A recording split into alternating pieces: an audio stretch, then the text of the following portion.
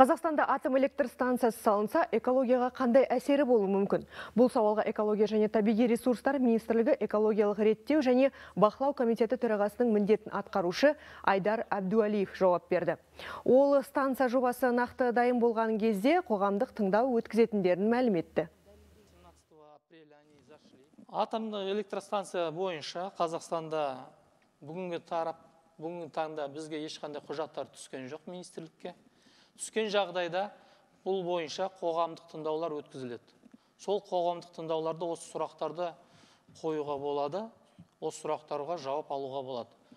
Бұл атомный электростанцияны энергетика министрлігі өз құзыретінде қарастырып отыр. Бізге келген кезде жаңа жоба келген кезде біз осы өзіміздің шешімімізді береміз.